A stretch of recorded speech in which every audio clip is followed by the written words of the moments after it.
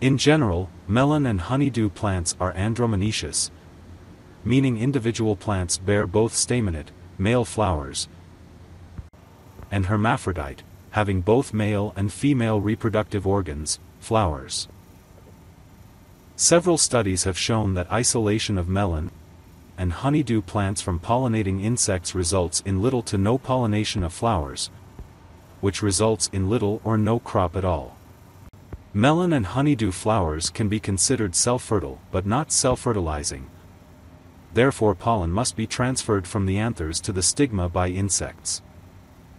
Honey bees are considered the most effective pollinating insect for melon crops. Cross-pollination has also been shown to produce slightly heavier fruit. At least one viable pollen grain must be deposited on the stigma and fertilize an ovule if a seed is to be formed.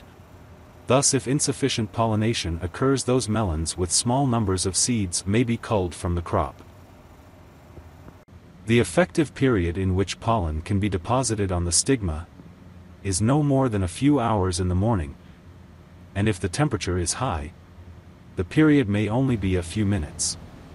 After this period, the flowers will close and will not open again. Melon is self-fertile with the female flower being pollinated equally well by pollen from a male flower on the same or a different plant.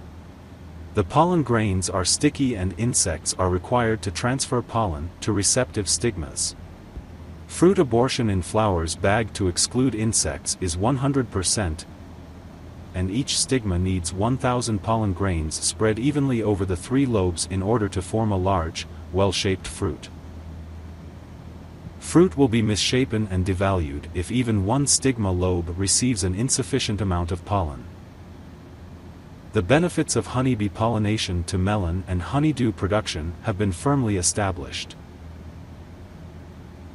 Further studies found at pollination of melon using honeybees improved percentage fruit set and fruit weight significantly. It has been shown that honey bees are also the most abundant pollinators of watermelon with lack of pollination linked to poor yields, thus low incomes for growers. Recent studies have further demonstrated the benefit, with crops pollinated with honey bees producing significantly higher numbers of mature fruits and seed yields,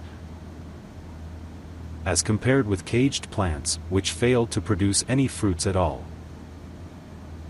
Recommendations for number of hives per hectare for melon, muskmelon and honeydew vary from 2 to 5 hives per ha. The bees are preparing to start a working day.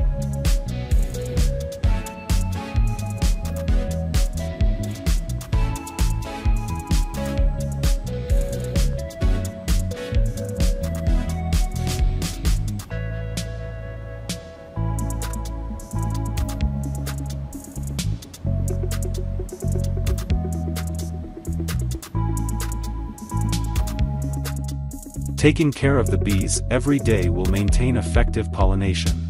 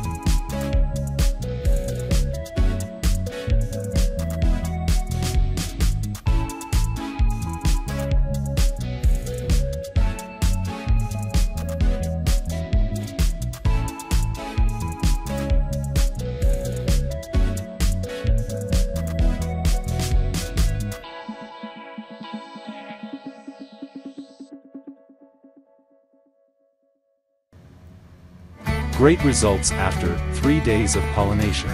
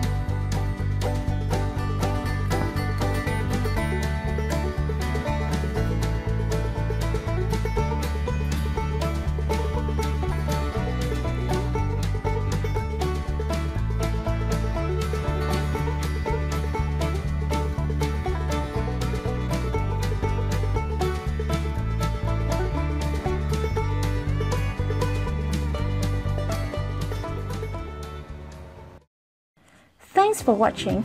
Don't forget to like this video and don't forget to subscribe.